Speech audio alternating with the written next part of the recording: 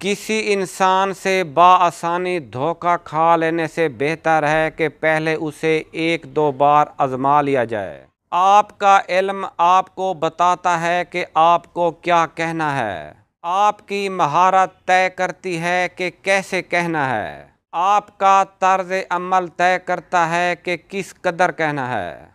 और आपकी अक्लमंदी तय करती है कि आपको कहना चाहिए या नहीं। वो आदमी जो अपने हालात पर राज़ी नहीं है, वो गरीब है। जिस आदमी की ख्वाहिश उसके हासिल से ज़्यादा है, वो भी गरीब है। जिस आदमी को मज़ीद की ज़रूरत है, वो भी गरीब है। अगर जानते हैं कि लोग मरने वाले इंसान को कितनी जल्दी भूल जाते हैं तो फिर आप लोगों को मुतासर करना क्यों नहीं छोड़ते? अपने दुश्मनों को हमेशा अपनी कामयाबी से शिकस्त दें और अपनी मुस्कुराहट से दफनाएँ। खुशी को बरकरार रखने का एक ही तरीका है कि उसे तकसीम किया जाए। इंसान की ज़्यादातर परेशानियों की वजह यह है कि वो हद से ज़्यादा हासिल करना चाहता है और वो भी वक्त से पहले। दूसरों की मुफलसी और गरीबी का मज़ाक बनाने वाला इंसान कभी खुश नहीं रह सकता। इंसान को बर्बाद हमेशा उसकी लालच करती है, चाहे वो पैसे की हो या किसी और चीज़ की। बहस करने से इंसान अपने दिमाग को काफ़ी हद तक नुकसान पहुँचा सकता है। एक नाखुश इंसान ना तो कभी खुद सुकून से रह सकता है और ना ही दूसरों को सुकून से रहने देता है। अगर हम कभी किसी दूसरे इंसान के दिल में झाँक कर देख सकते तो उनसे बात करना तो दूर उन्हें देखना तक पसंद ना करते हैं। कोई भी बात करते वक्त आहिस्ता बोलना और रुक रुक कर बोलना आपके बहादुर होने का सबूत है। आहिस्ता आहिस्ता इंसान दूसरों को कायल करना छोड़ देता है। उसे समझ आ जाती है कि किसकी कितनी परवाह और किस से कितनी उम्मीद रखनी है। और किस से कितना फासला रखना है, ज़िंदगी सब कुछ सिखा देती है। मांग कर हासिल की जाने वाली इज़्ज़त इज़्ज़त नहीं होती, बल्कि वो एक एहसान होता है। वक्त ज़ाया करने वाले लोग कभी पैसा नहीं कमा सकते। जो शख्स अच्छा खर्च करता है, आपको उसकी नकल करने की ज़रूरत नहीं है, क्योंकि वो अच्छा कमाता भी है। आप अपनी आमदनी के हिसाब से खर्च करें, इसी में बेहतरी है। तरक्की की राह में बुराई को बर्दाश्त करना और अच्छाई की उम्मीद रखना बहुत ज़्यादा ज़रूरी होता है। झूठ बोलने से हमेशा गुरेज करें और सच बोलने की अपने अंदर हिम्मत पैदा करें, क्योंकि एक झूठ बोलने के बाद आपको हज़ार झूठ बोलने पड़ते हैं। किसी की बहुत ज़्यादा तारीफ़ ना करें, क्योंकि हर चीज़ तब्दील हो जाती है। अगर आप ढूंढना चाहें तो आपको हर चीज़ का इलाज मिल सकता है। समझ ना आने वाले काम को बार बार करने से आप उसे बासानी सीख सकते हैं।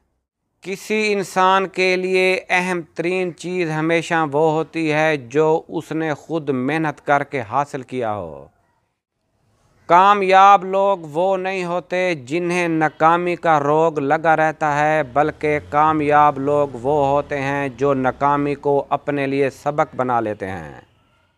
ये तीन चीज़ें इंसान की खुशियाँ खा जाती है। नंबर एक, लोग क्या कहेंगे? नंबर दो, अपनी खुशी को दूसरों के लिए छोड़ देना। नंबर तीन अपने हक के लिए ना बोलना। जो खुदा से नहीं डरता, वो सबसे डरता है। जो खुदा से डरता है, वो किसी से नहीं डरता। आज का आधा काम कल के मुकम्मल काम से बेहतर है। इंसान जिस कदर ख़तरा से बचना चाहता है, उसे उस कदर ख़तरे का सामना करना पड़ता है। थोड़ा सा पीछे हटकर हम बेहतर छलांग लगा सकते हैं। समझदार लोग किसी भी चीज़ को बेकार नहीं समझते। हर इंसान में खामियाँ होती हैं, जिन्हें वो बार बार दोहराता है। खौफ और शर्मिंदगी से उनका इलाज नहीं किया जा सकता।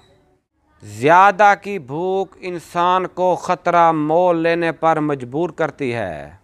माजी ऐसी जगह नहीं है जहाँ आप रहो, बल्कि ऐसी जगह है जहाँ से आप सीखो।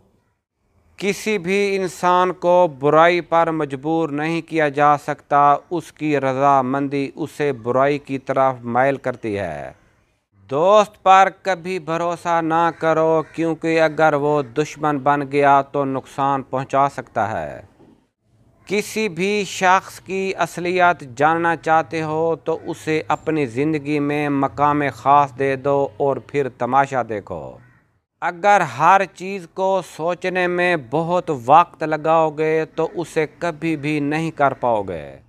एक हज़ार मुनाफिक मिलकर आपकी जड़ें भी काट दें, और अगर कोई एक मुखलिस दोस्त आपको सहारा दिए हुए है तो यकीन माने आप कभी गिर नहीं सकते। किसी से रिश्ता तोड़ना एक इंतहाई तकलीफ़ दे अमल है, लेकिन जहाँ आपकी इज़्ज़त, कदर और ज़रूरत ना हो, वहाँ से दूर जाने में ही खैर अफ़ियत होती है। जब कोई इंसान अंधा हो जाए तो उसको हर दूसरे इंसान का किरदार गंदा नज़र आता है और वो अपने किरदार से ऐसे मोहब्बत करता है जैसे एक मर्द खूबसूरत औरत से। बेवकूफ़ से दोस्ती ना करना, क्योंकि वो तुम्हें फ़ायदा देना चाहेगा, मगर नुकसान दे बैठेगा। सात लोगों के सामने सात बातों से परहेज़ करो। नंबर एक, गरीब लोगों के सामने अपनी दौलत की बातें ना करो। नंबर दो, बीमार के सामने अपनी सेहत का कसीदा ना पढ़ो। नंबर तीन कमज़ोर के सामने अपनी ताकत का इजहार ना करो। नंबर चार, कैदी के सामने अपनी आज़ादी का फ़ख्र ना करो। नंबर पाँच, परेशान के सामने अपनी खुशहाली का ज़िक्र ना करो। नंबर छः बे औलाद के सामने अपनी औलाद की जलवा नुमाई से परहेज़ करो। नंबर सात यतीम के सामने अपने माँ बाप की गुफ्तगु से परहेज़ करो। अगर आप बेइज्जती करने वाले के सामने मुस्करा दें तो आपकी मुस्कराहट उसे तीर की तरह चुभती है। अगर आप किसी को खुश करना चाहते हैं तो उसकी मदद करने की बजाय उससे मदद मांगें, क्योंकि लोग हमेशा दूसरों की मदद करके खुश होते हैं। इंसान की खुशी चाहे कितनी ही बड़ी क्यों ना हो, सिर्फ़ नौ दिन तक रह सकती है। आप शीशे में खुद को जितने ज़्यादा खूबसूरत नज़र आते हैं, उससे तीन गुना ज़्यादा लोगों को नज़र आते हैं। अगर आप चाहते हैं कि कोई पूरा दिन आपके बारे में ही सोचे तो रात को सोने से पहले उससे बात करो। ज़्यादा इंटेलिजेंट लोग अकेले रहना पसंद करते हैं, इसलिए वो दूसरे लोगों से अलग पहचान बना लेते हैं। ज़्यादातर लोग आपको आपके जूते देखकर जज करते हैं, ना कि आपके चेहरे को देखकर। एक तहकीक के मुताबिक, जो लोग स्कूल में हमेशा देर से आते हैं, वो मुस्तकबिल में अमीर और कामयाब होते हैं। दो वजह से लोग आपको सबसे ज़्यादा पसंद करते हैं, या तो आप कामयाब हों या फिर खूबसूरत। दूसरों से धोखा खाने वाले आम इंसान की नस्बत ज़्यादा होशियार होते हैं। किसी भी परेशान सूरत हाल का असर हम पर ज़्यादा से ज़्यादा पाँच मिनट तक रहता है।